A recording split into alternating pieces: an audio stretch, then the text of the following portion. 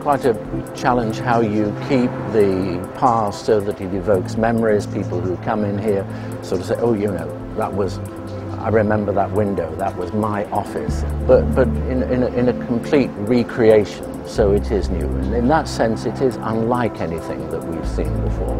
Like any of the buildings, this one is um, it's a one-off, it's unique.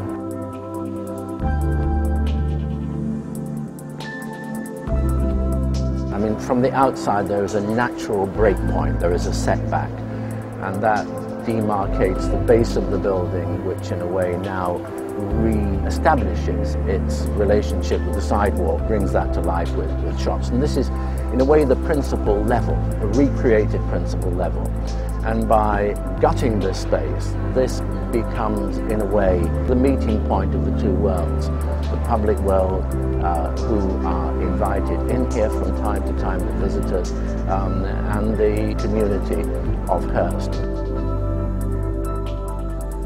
The solid part of the tower, which conventionally is always in the middle of the office space, here has been pushed right to the back. So that allows a lot of the things that we experience here and also higher up the tower to happen. Um, so we have this generosity of space, which you would never get in a conventional building. You always have this feeling of a good orientation when you come out of the elevator.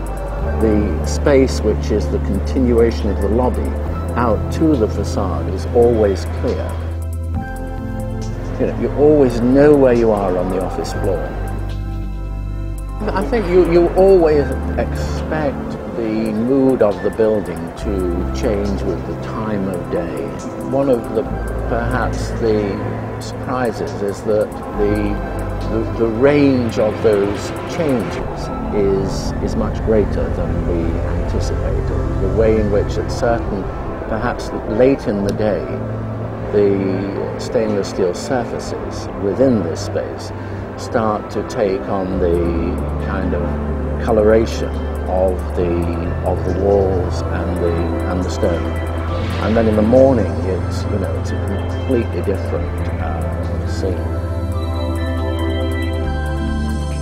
The form works quite interestingly socially on the on the office floors, in the sense that the corners are the most dramatic points for the view. They're either tilting out, in which case you get this combination of the horizon and, you know, the, almost the plan of the street, or they're tilting back, which gives greater emphasis to the sky.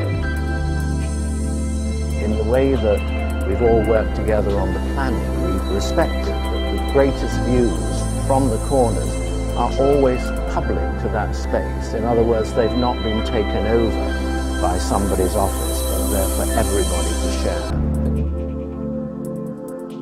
Really, the architectural framework, it really just captures the view. And there isn't a bad view, you know. It's New York.